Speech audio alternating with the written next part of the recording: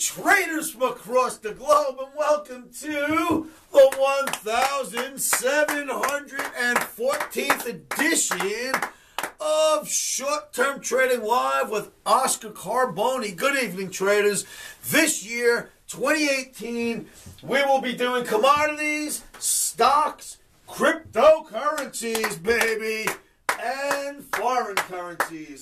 We certainly will be looking at a lot of stocks and cryptocurrencies here. Of course, we always trade the commodities. As you know, this is an extremely risky game. Make sure you trade with stops. Never trade without them. Put your stops in first. Know that you can lose all the money that you have, plus more if you're going to trade futures. Know the risks, but let's get moving because I know the risks and I know how to try to keep you out of trouble. It's called putting your stop in first. Make sure you do it. All right. So, video number seven, 1714 comes at you on a Sunday night for trading Sunday through Monday, January 8th, 2018. Traders, on the board, E-mini S&P, NASDAQ, ETH, and Euro all have a green Omni, and I love clapping for those green Omnis. Looks like S&P and NASDAQ just wants to run away. We'll see what happens. Uh, again, 2018, I promised lots of cryptocurrencies, lots of stocks. Certainly, we always do commodities and euro currency and other currencies. In this evening's video, I will cover each of those, but I had a couple of, well, I always get lots of viewer mail, but two of those I try to pull out for each video. And I would like to uh, answer two of those viewers tonight before we get moving. Natalie, viewer mail, what do we have? This one's from Tiki Tim. He said, Cryptos, please. Tiki Tim, cryptos, please. You got it, baby. Tiki Tim, cryptocurrencies are coming. Ethereum in this video. We bought Bitcoin right before the, well, while we had the pullback, which I like to call the holiday reversal. The Omni went and bought Bitcoin. The Omni is going to buy Ethereum probably tonight or tomorrow, whatever we can get our fill price. So that is up next in the cryptocurrencies. We're already long Bitcoin. We're going to buy the ETH. I'll let you know how that goes. What's next? The other one is from Rohit Goel. Fanta- fantastic job with the year-end projections for the S&P, Oscar. I was skeptical when you initially put up the targets, but became a believer as the year went along. One request for this year, could you please also include year-end targets for the NASDAQ composite? Much appreciated. Ah, year-end targets for the NASDAQ. Well, as you know, these were the year-end targets for 2017, which basically now have to go away, right? We don't really need them there anymore. So I will erase these, get them off the board, and here's what I will say to you. And thank you both for your mail. Thanks, thanks to everybody for that mail. We get tons of it. So, will I add the NASDAQ in this year? Well, let me say this. The NASDAQ is such a crazy cowboy. This year's 2017, last year's 2017 projection in NASDAQ, you know what it was? 6,600. Now, you can ask any of my Omniacs in the trading room. They are all well aware that that was this year's projection. I try not to put it out and leave it on the board all year because it rotates and whips around so much. I just thought it would be insane to give you a projection of 6,600. And what happens? It hits 6,600 at the end of the year. That's nuts. go Omni, go. Thank you so much. Omni gave us this in the beginning of 2017 for NASDAQ. Yes, I will come up with a projection in Nasdaq. I don't know if it's going to sit on my board like the E-mini S&P, but I will come up with a projection in Nasdaq. I do have a very long-term projection in the Russell. The Russell 2000's long-term projection is 2400. Now, ask anybody in my trading room at 1200 Russell 2000. I gave this target for 2400. We're now $1,550. We went $350 above this so far towards our target. This is a target, not year end. This is a forever target. We expect it to get there at some point between now and forever, but we expect that to be a lot shorter than you might think. So there is a Russell standard target, not for the year. I will try to come up with the NASDAQ target, leave it on the board. And as always, I come up with an E-mini S&P target, and that you will get for sure. That will happen over the next couple of weeks. Commodities, stocks, cryptocurrencies, just like I told you that Tiki Tim will be doing cryptos, ETH we're up for, and of course, euro trading or foreign currencies. Traders, I am holding a five day long seminar here in Las Vegas. It is called OmniCamp. Fill out your applications. OmniCamp is the last week in Feb, first week of March. Only five of you are ever accepted out of all the applications that come in. Come to livewithoscar.com, click the OmniCamp banner, and fill out your applications. Time is ticking. Seats are limited. Let's get moving, cats. Come on out to Vegas. With no further ado, let's go look at some charts. Okay, traders, E-mini S&P daily bar chart. You've seen this chart in many videos. You see that we had these targets, right? The Omni 2017 target was 2650. We hit it. We had a secondary target, 2727. We hit that. And what's interesting is we are now getting up to the top of this channel here. I don't see why it would stop, but there will be some kind of resistance up here when we get there. But for now, looking great. Green Omni pointing higher in your E-mini S&P. NASDAQ, interestingly enough, the same exact scenario. Right at the top of this major channel trend line.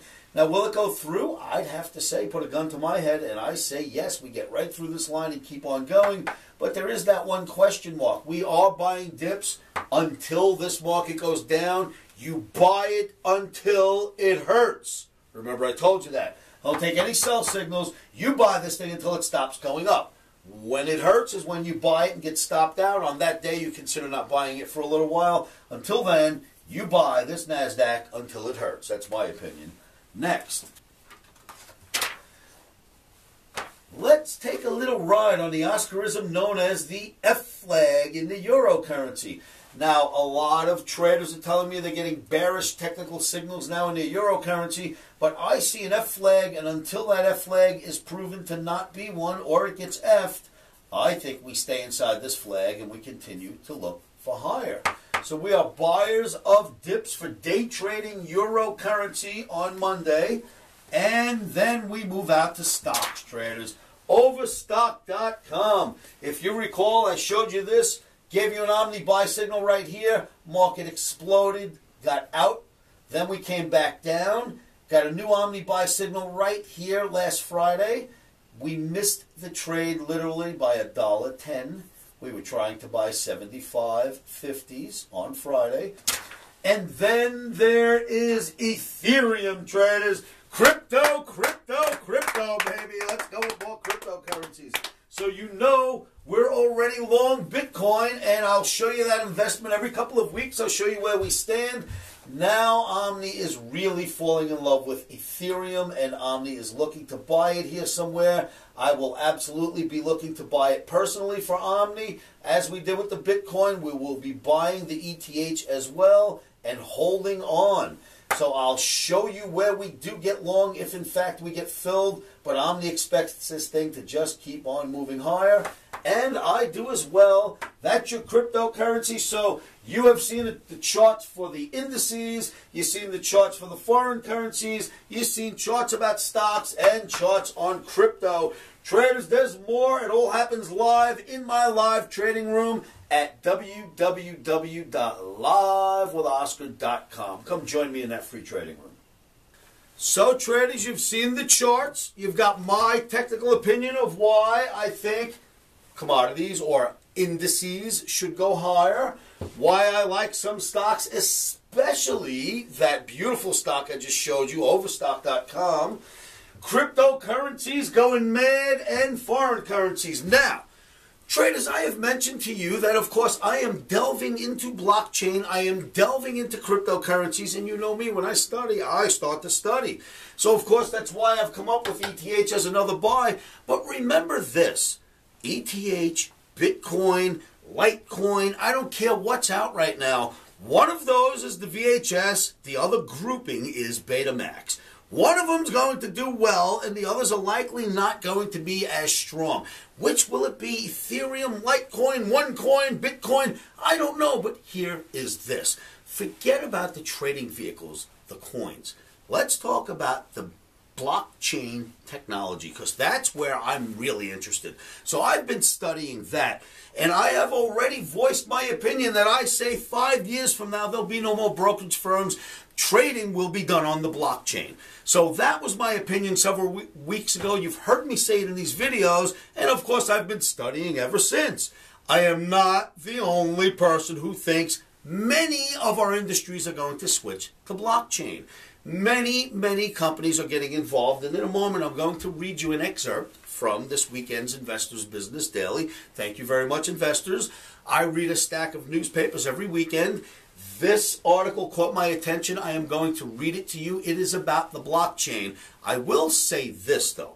What is starting to happen with blockchain reminds me very much of what I seen in the late 80s when the internet was released.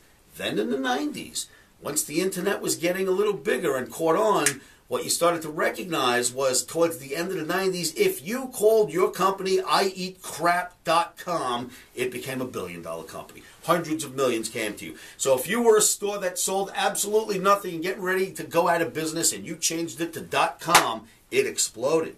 That created a bubble. In 2001, we had the crash from that bubble. Does everyone remember the dot com crash? Well, I think what's happening now is basically the same thing will happen because blockchain is basically creating an internet on top of the internet. However, like Long Island Ice Tea, you put the, the extension dot blockchain or you name it, something dot blockchain on your URL and your company may explode. What's that going to do? It's going to create a lot of BS companies worth nothing and create some sort of a blockchain bubble. When is that? Not tomorrow. Don't worry about it for a while. But keep this in mind. This is exactly how things started with the internet. Then you got the gold to start running out of nowhere. And then the crude started running. What do you see starting to happen right now? Just keep these things in mind. You know me, down market, up market. I don't care which way it goes. Omni will go for it. We'll trade it. But I just want you to recognize I'm starting to see just a few signs now that are slightly reminiscent of 2000, not 2008, but of 2000. Keep that in mind. That's for the future. Leave it in the back burner. Now, this video may get slightly boring for the next three to five minutes, but I've got to read this article to you from Investors Business Daily because blockchain is becoming what I told you it's going to become. It's going to be huge, S. Donald. So, I read Barron's, Wall Street Journal, Investors Business Daily, you name it, I read it this weekend, but this one caught my attention. So, in Investors, it starts to say, of course, the the headline is Is Bitcoin just the opening act for blockchain? Absolutely. So let's read. Am I right that blockchain is going to take over and brokerages are going to close down? Yes. So, the likes of Microsoft, IBM, Oracle, Intel, Accenture, just to name a few, are also jumping on the bandwagon.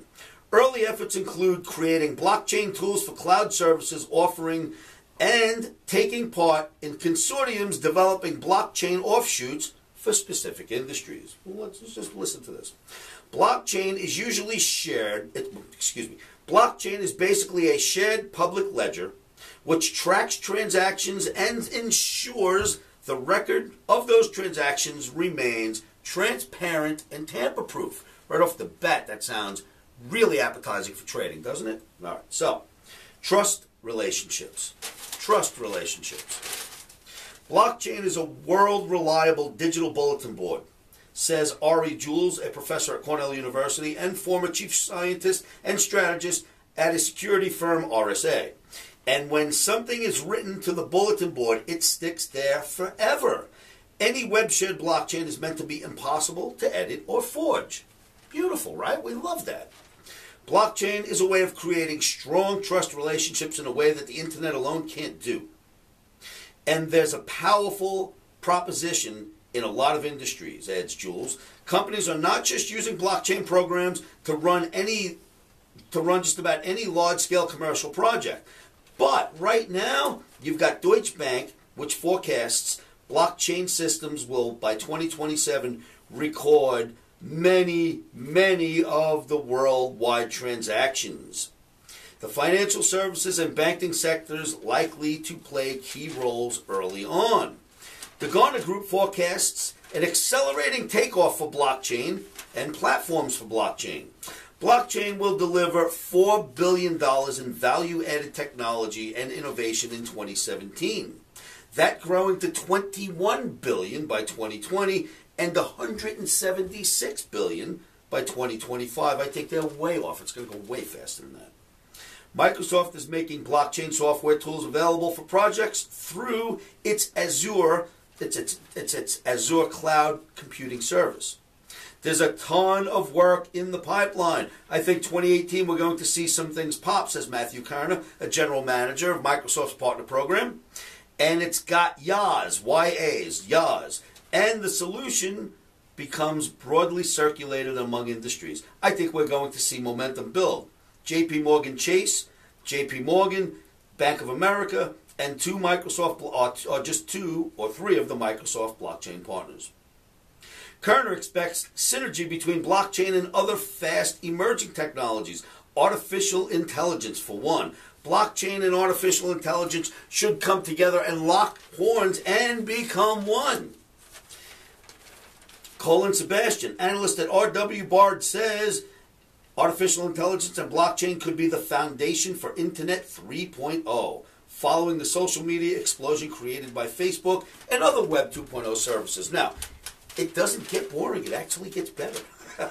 Amid the wave of initial coin offerings, or ICOs, outgoing Federal Reserve Janet, uh, Janet Yellen, Chairman Janet Yellen, has called Bitcoin a highly speculative asset and not a stable store of value. However, if Bitcoin and other digital currencies started to crash and burn and fade away under regulatory pressures, will it be a black eye for blockchain? No, not according to Ryan. The cat is out of the bag, my exact words three weeks ago.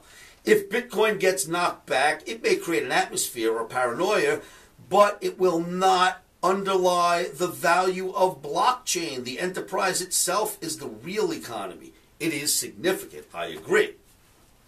San Francisco based Chronicled is taking part in a MediLedger, a project aimed at getting drug companies to adopt to the blockchain. Despite blockchain's rollercoaster ride, many blockchain par- many blockchain projects are in full swing. Another company. One is Hyperledger, an umbrella organization created by the Linux Foundation to incubate many different enterprise blockchain technologies. Hyperledger has already 170 members creating different situations or different businesses that will run block on blockchain.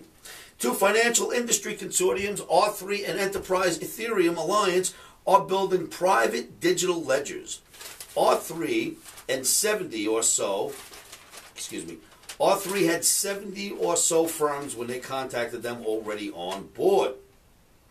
Bitcoin versus private projects. This just goes on forever. Bitcoin's public ledger is replicated on network computers around the world. It is, it is accessible to miners that use Bitcoin code. For cryptocurrencies, blockchain records records all the changes of ownership of digital tokens. Transactions are confirmed using encrypted code. Each block contains a set of new transactions verified by a network of computers without the need of any central authority, middleman like a bank, a credit card processor, an exchange, or anything. It's getting interesting now.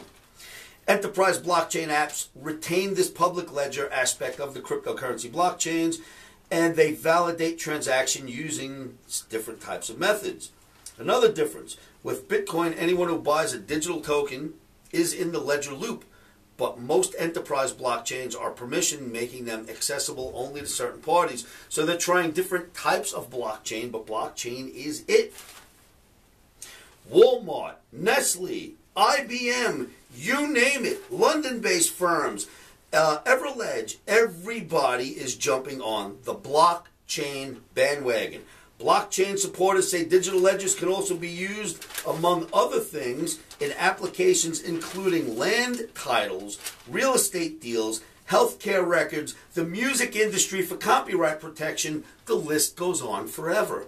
While leery of Bitcoin and in the financial industry, the financial the financial industry is embracing blockchain. Sebastian says most blockchain related job openings are companies like Fidelity, Invesco, JP Morgan, and Bank of America.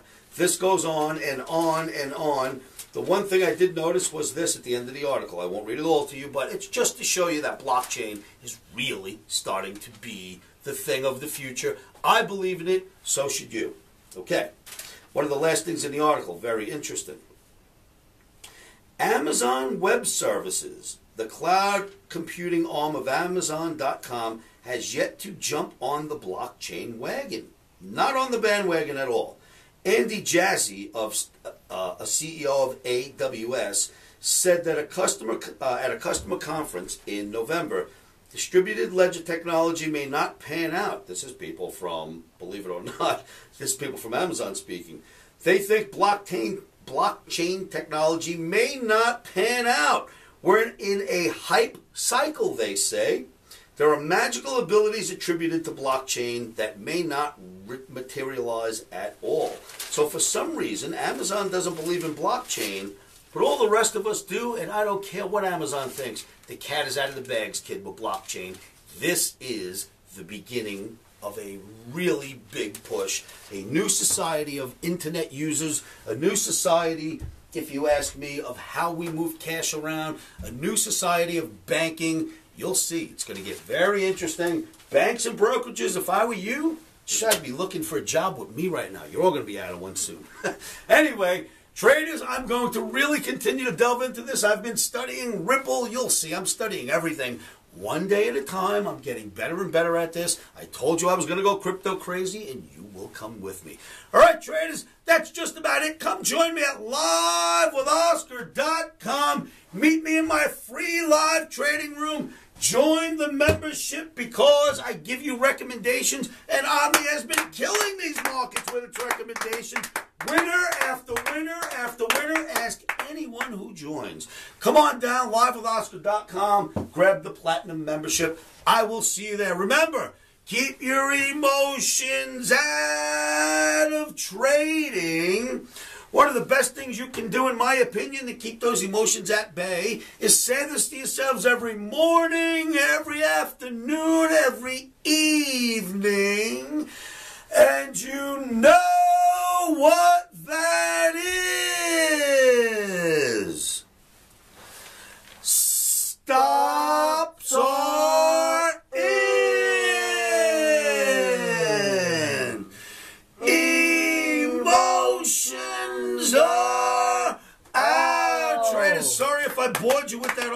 but boy, oh boy, you've got to start paying attention. Futures trading is risky and can cause substantial financial loss. We do not claim or guarantee that you will profit from the information provided.